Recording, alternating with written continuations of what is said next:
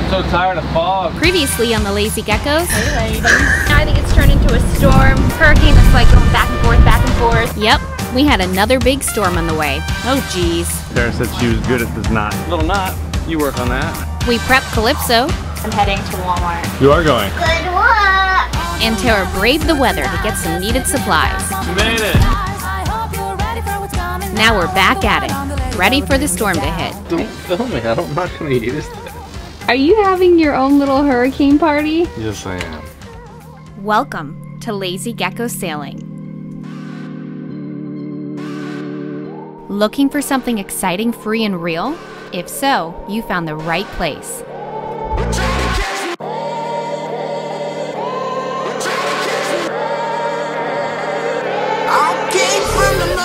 Meet Calypso, our floating home. It's not working. We're sailing her all over and taking you for the ride. Please click on subscribe so you don't miss any of the fun. been running from the law. Hope they won't shoot me down.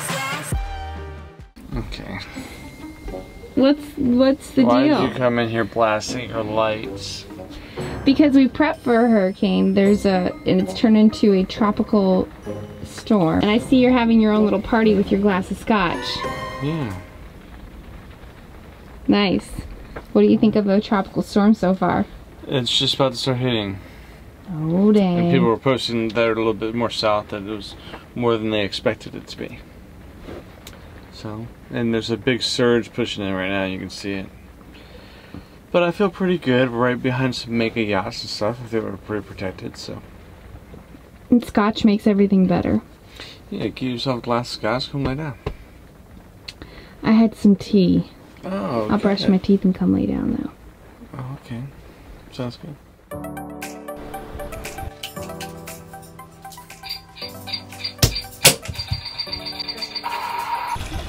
Did you feel that storm last night? No, I didn't feel a thing. Me either. Apparently, they said the winds got to like 80 knots. Yeah. Your lens is dirty. Come on over here. Yeah, they say the uh, winds got up to like 80 knots. We didn't feel it. I mean, we're pretty protected right here. We have mega yacht right behind us, that and a house or a building right in front of us. So that's cool. I would worry if it got to 80 knots. then the solar panels would fly off. But I think we're pretty protected. So now I'm running the engines. I think we right now we're in Buford, North Carolina, and I think we have a weather window tomorrow. to- Beaufort. sorry, it's Beaufort. Beaufort, North Carolina. I think we have a weather window tomorrow to jump straight from here to Charleston. Should take like 29, 30 hours, something like that. Um, maybe 33. So depends on how fast we go. So what I'm just running the engines, charging the engine batteries, and um, running the radar. I've done that, but and all that kind of stuff. And just making sure everything's good for tomorrow. Securing the dinghy, we always uh, like really secure it up. Um, some people, we know people that have lost like their dinghy hoist is broken at sea. Um, so I always secure it up so if that were to happen, it has a backup. And just stuff like that. You good for an offshore overnight? I am. Have you looked at the PredictWind and everything? Yeah. PredictWind says it should be like less than two meter waves, so less six feet, and uh, the whole time, and between like eight and 20 knots the whole time. So that's, that's good. And then uh, I don't I don't know if we're gonna get a lot of sailing down, but I think the sailing is more towards the end of it. I'm kind of looking forward to it. How about you? Um, yeah, as long as the weather's right. Yeah. Well, the groceries should be here in about 20 minutes. Okay, great. And then after that, uh, after I run the engine stuff, I'm just gonna check the oil. I went through all the engine hours and everything as far as maintenance. Check the oil, and then um, pretty good, man. I think we're pretty set to get the to get the groceries in. I went and got some propane today. We run a little bit low, and should be good to go. We pulled off the dock and staged Calypso just inside the Beaufort Inlet, ready for an early morning departure.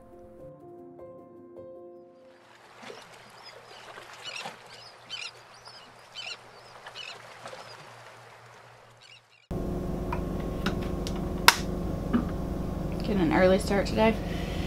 Yes. 5 a.m. wake up call. It's probably like 5:40 now. We're gonna leave at 6 a.m. We just tracked our options on Windy to figure figure out what was the best option for us. It looks like the first half will motor sail because we need to make at least 6.7 knots. And then the second half looks really good for sailing. So I think, or we think, we're going to go faster than we realize. It's really good sailing winds. So make our way out of Beaufort, North Carolina, and then we'll be aiming for Charleston, South Carolina. We should arrive tomorrow by noon at the latest, hopefully way before that if we go faster. So we're just waiting on sunlight because we want to get out of here as soon as we can. But to get out of here, there's a lot of like, it's kind of tight, it's a little congested, so daylight would be better. Just waiting. Jeremiah's over there tracking our route. Actually, I'm not. I'm just standing here. Oh, well he was. Um, We'll probably be sailing in like 20 knots, so you'll get some good sporty sailing in here, Tara. Sounds good. Yeah. So it should be good. We're, it won't start out like that. It should start off kind of calm. Uh, but the sea should be like three to four. Uh, the cool thing is they should be following, so. But um, it'll be good. Just trying to get some light so we can get out of here. There's a bunch of people going. We don't really know anybody. Like we've met one of them for a couple seconds when you guys gave them those books and they were dinging up. So you can sit down. It's okay. Just relax. No, but you said to call him on the radio. The radio's right in front of you. Are you already filming now this too? remember, now when you do this, you're you're broadcasting everybody. The Coast Guard's recording you, everything. So she's like trying to round up the scr- little crumb snatchers. The crumb snatchers. She's got her anchor. Gaia, Gaia, Gaia. Calypso on 1 6. Don't call them when they get over here. So they did come from that boat, right? Gaia, Gaia, Gaia. Calypso 1 6. After a few failed radio calls, we decided to go old school with it. Okay, they're not listening. She's just waving. She's like, what's this crazy blonde Like, one? what is she doing? okay, here's they're turning. Okay. Hi. Hi. We had this idea where, like, after we read a book, we label it and we give it to other sailing kids. What Nana T's working on is labels. Right there, that's Reese's actual signature and Nana T's signature. And they're gonna put the labels in the books that you read, right? Yep, and then we're gonna pass them on to other kids on, on boats. And then you can just, you could write your names in there too and then pass it on to other sailing kids. So, Thank you so much. you're I love that idea. welcome. Are you guys here for a little while? Or? Uh, we're taking off in the morning. We're heading to Charleston. Stay with us. That was cool. Hopefully, it'll start a new tradition in the boating community. Now they have it and they're gonna read it and then hopefully they'll pass it to another kid, right? How cool is that, Tara? Your idea like came to fruition. Yay! Now we just have to keep doing it I and get other people to do it. And perfect. Like there's kids there that are gonna go and they were home the and read right them. age too. Yeah. They'll love them. Yes. I wish we had toys. Cool. Should we give them some toys? No, no. It's funny that last night we were doing the, uh, we were just hanging out. We saw the dinghy next door, and Tara saw the kids, and we waved them over, and they came over and got the books. Well, last night I was laying in bed, and somebody tagged us in a post and said, like, you know, a video of dinghying with their kids, and said dinghying looking for horses with the kids, while the kids read their new books from Lazy Gecko Sailing. Oh, that's cool. Yeah, they must have already known who we are because we didn't tell them we were Lazy Gecko Sailing. No, it doesn't say it on the thing either. It just says No. SV Calypso, I think. Yeah. Oh, that's funny. I didn't Yeah. know that. Yeah. We have at least three boat, four boats altogether that we know of. There's a bunch of boats in the anchorage, so I imagine there's a lot more than that.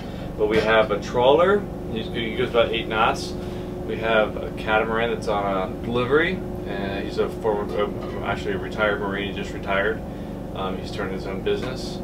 Um, and then we have that family, which they might not go because of the autopilot, but um, they're working on that. And then we have another boat that contacted us as well. We were driving by, they sent us a picture. They're leaving this morning too. They have two little kids. They're adorable. And dude, there's this one, like the one's a baby, and I was I saw their post last night, and um, it was like a little, probably three year old, and then a baby, and the baby does this little sweet little smile at them. It's adorable. You gotta watch it. But anyway, we're gonna be out there with other people. which Sounds is always good. good. Because if you need if you need assistance, there's help there, and then you're there to help them as well in case something goes wrong. I think I'm gonna start getting the boat ready. Sounds good. Should be pulling out of here soon. Are you nervous? No? Are you? Good. No. I don't get nervous anymore. No? you're just a seasoned sailor now? Yeah, I mean, after that passage from Grenada to United States, No can't sweat? really- yeah, can't really top that, you know. Are you nervous, Tara? Should I be? All right, uh, but no. The question is, are you nervous? I don't think so. No, you were nervous last time. I know. How do you feel? A little tired. I woke up at three. I mean, about you know going offshore and sailing. it's fine. It should be fun. No worries now. No. Nice. Well, you're you're getting into a different realm then, because last time you were like, I'm nervous. I I, don't know. I was a Oh, little nervous last time. yeah. Well, and if we're off, if we're offshore, the, the biggest thing I worry about is crab pots. Yeah, well, we're gonna go way offshore this So time, yeah, so we shouldn't worry shouldn't have any crab pots. So. Yeah. The weather was cool and calm for our trip through the inlet. We even had some friends escort us along the way. Good morning.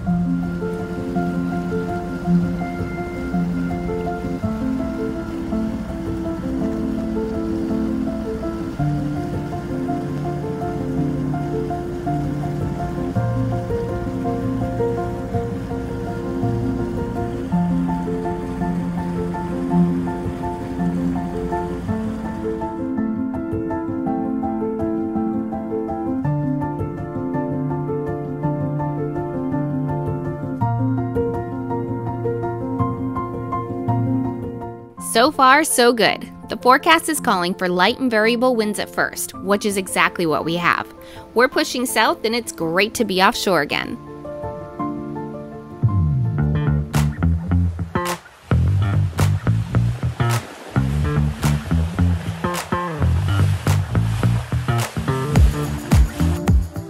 We've been getting in some great footage from viewers, like this video from SV Ocean Eyes. Thank you guys and looking good over there.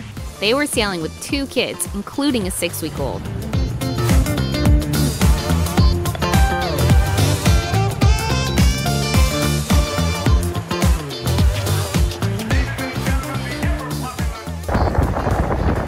The sun was setting and the winds were picking up.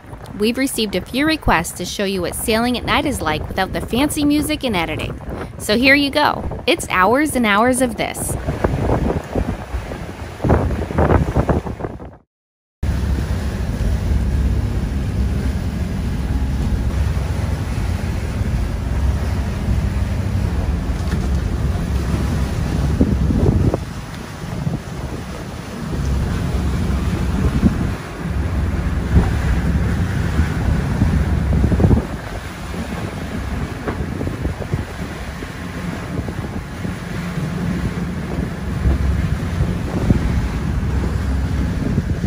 The seas were getting kinda sloppy, and I was feeling pretty rough at this point.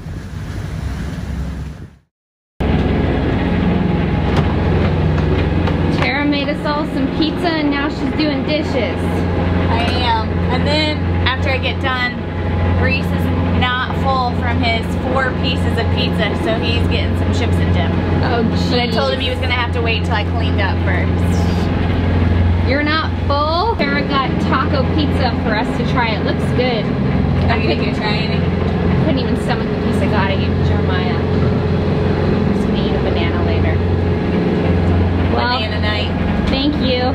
You're welcome. Well, I hope you don't get sick because it, cause it's probably almost time to, to get on that. Yeah, actually, Daddy's pulling a double shift for me. Uh, you gotta get back on your shifts. I know. I'm.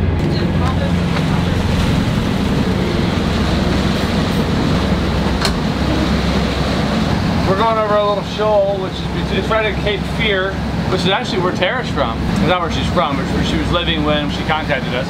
Uh, but we're going right by Cape Fear, North Carolina, and there's a shoal here. So I've just been kind of watching for crab pots. There was a big storm that came through just the other day. So I'd imagine they picked their pots up. I just want to make sure they didn't drop any out today. I'm really just shooting the spotlight out every once in a while. I know I. I can't really see up front, but I look off to the side and I figure if I'm gonna see something out there, well then I need to really pay attention up front. I um, was closing my eyes and I opened them and this white thing went across all the windows and I was like, what was that? Right? I was like, I feel like, I thought it was like maybe a ghost for a second. I was Maybe like, UFOs? weird. Maybe uh, UFOs zooming by underneath the water? Yeah, because usually you're doing it on the bow, not usually at the side of the boat. Yeah, well I don't go up there by myself, you know? At night. No, you're usually shining it out the window, the top hatch. Yeah. When we have another vessel near, like this huge container ship, we turn on our deck lights just to make ourselves more visible to them.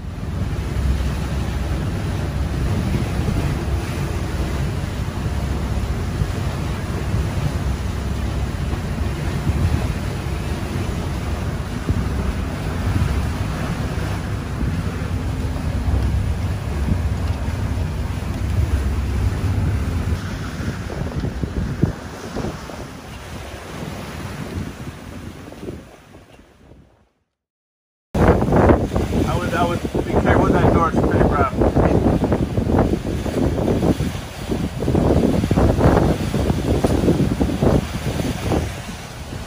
How'd you sleep? Not that great.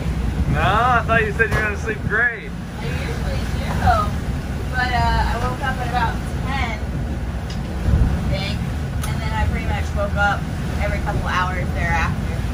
Yeah, it, was, it got a little rough, especially late, like this morning. Yeah. Yeah. Yeah, it was difficult to use the restroom, but I managed. We're making our way towards the inlet now.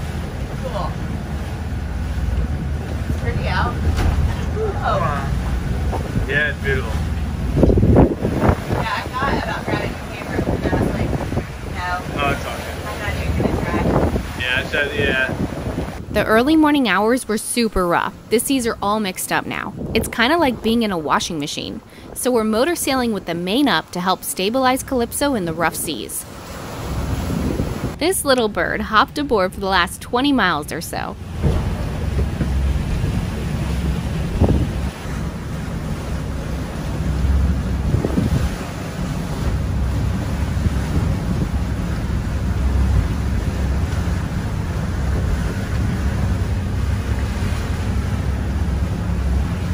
We set some water down. It seems to feel right at home along the way.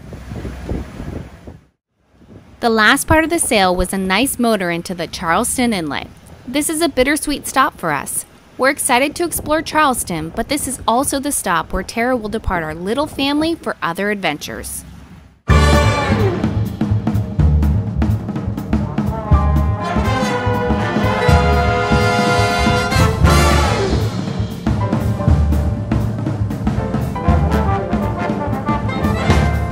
Ready for a day of fun in the sun? I am. What a great little spot. We'll go I to the know. bar, we'll go to the pool, have a day of it. Yeah, I'm excited. Are you doing laundry before we go? Well, I didn't want our clothes to wrinkle because if you leave them in there, they'll wrinkle, right? All right. So we'll fold this and then we're out of here. Coming soon on the Lazy Geckos. Really neat market. Arthur Ravenel Jr. Bridge. The battery. It's beautiful. Oh, that's a nice one. I think we're the only people drunk on the whole premise. Taken off from Charleston. I'm gonna go for it. Angel Oak Tree. They glued it in. And now I try to catch it. Look at the back of this thing. We are taking our settee cushions in today. I've never seen the inside of a microwave. Oops. Do you know what you're doing? No. Well, I watched YouTube videos. We have Jason Pinko here today. inner dyneema is spliced into itself to right there. You got there. Do you feel like you can administer emergency oxygen now, honey? Yeah. This is the best day ever. Well, we'll see. The one in the living room might fall down. We'll see. Having a CPAP on the boat. Jeremiah just left to go uh, be a part of the RV survey. First night aboard the RV. Jeremiah doesn't really know what he's doing. That was so much easier than unhooking power on the boat. We are headed to the West Palm Beach Powerboat Show. Scene. Take two. All day. Want more? Check us out at lazygeckos.net.